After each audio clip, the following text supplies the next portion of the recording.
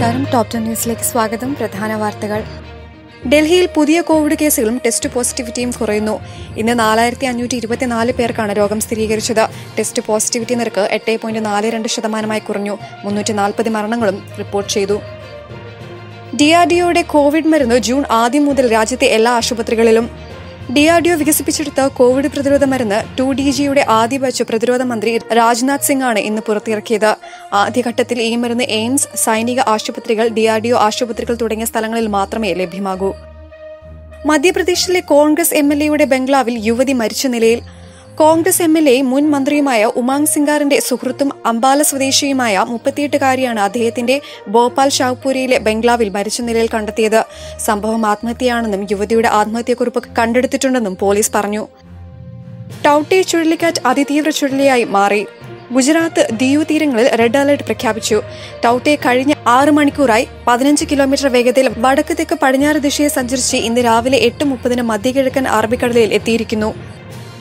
K Krishnankutty Janata Dal എസിന്റെ മന്ത്രി ജനതാദൾ ദേശീയ നേതൃത്വമാണ് കൃഷ്ണൻകുട്ടിയെ മന്ത്രിസ്ഥാനത്തേക്ക് തീരുമാനിച്ചത്. നാളെ ഇക്കാര്യം സംബന്ധിച്ച ഔദ്യോഗിക പ്രഖ്യാപനം ഉണ്ടാകും. വിഴിഞ്ഞം തുറമുഖ പദ്ധതിയുടെ ഭാഗമായി നിർമ്മിച്ച പുലിമുട്ടുകൾ തകർന്നു. എണ്ണൂറ് മീറ്റർ നീളത്തിൽ നിർമ്മിച്ച പുലിമുട്ടിന്റെ നൂറ്റി എഴുപത്തിയഞ്ച് മീറ്ററോളം ഭാഗം കടലെടുത്തു.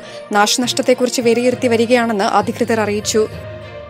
കേരളത്തിൽ ശക്തമായ മഴയ്ക്ക് സാധ്യത വിവിധ ജില്ലകളിൽ യെല്ലോ അലർട്ട്. മെയ് പതിനേഴിന് തൃശൂർ മലപ്പുറം കോഴിക്കോട് വയനാട് കണ്ണൂർ കാസർഗോഡ് ജില്ലയിലും മെയ് പതിനെട്ടിന് മലപ്പുറം കോഴിക്കോട് വയനാട് കണ്ണൂർ കാസർഗോഡ് ജില്ലകളിലുമാണ് യെല്ലോ അലർട്ട് പ്രഖ്യാപിച്ചത്.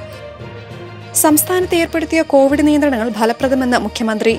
ലോക്ഡൌണിന് ശേഷം സംസ്ഥാനത്തെ ശരാശരി കേസുകളിൽ കുറവുണ്ടായി. ചില ജില്ലകളിൽ കേസുകൾ വർദ്ധിക്കുന്നുണ്ടെങ്കിലും പൊതുവിൽ കോവിഡ് കേസുകൾ കുറയുന്നുണ്ടെന്നും മുഖ്യമന്ത്രി പറഞ്ഞു. സംസ്ഥാനത്ത് ഇന്ന് ഇരുപത്തി ഒന്നായിരത്തി നാനൂറ്റി രണ്ട് പേർക്ക് കോവിഡ്. ടെസ്റ്റ് പോസിറ്റിവിറ്റി നിരക്ക് ഇരുപത്തിനാല് പോയിന്റ് ഏഴ് നാല് ശതമാനം. എൺപത്തി ആറായിരത്തി അഞ്ഞൂറ്റി അഞ്ച് സാമ്പിളുകളാണ് പരിശോധിച്ചത്. എൺപത്തിയേഴ് മരണങ്ങളും സ്ഥിരീകരിച്ചു. പുതിയ മന്ത്രിസഭയുടെ സത്യപ്രതിജ്ഞ വ്യാഴാഴ്ച. അഞ്ഞൂറ് പേർ ചടങ്ങിൽ പങ്കെടുക്കുമെന്നും മുഖ്യമന്ത്രി പിണറായി വിജയൻ അറിയിച്ചു. തിരുവനന്തപുരം സെൻട്രൽ സ്റ്റേഡിയത്തിൽ ഒരുക്കുന്ന പൊതുവേദിയിൽ വെച്ചായിരിക്കും മുഖ്യമന്ത്രി മന്ത്രിമാരും ഗവർണർക്ക് മുമ്പാകെ സത്യപ്രതിജ്ഞ ചെയ്ത് അധികാരമേൽക്കുക.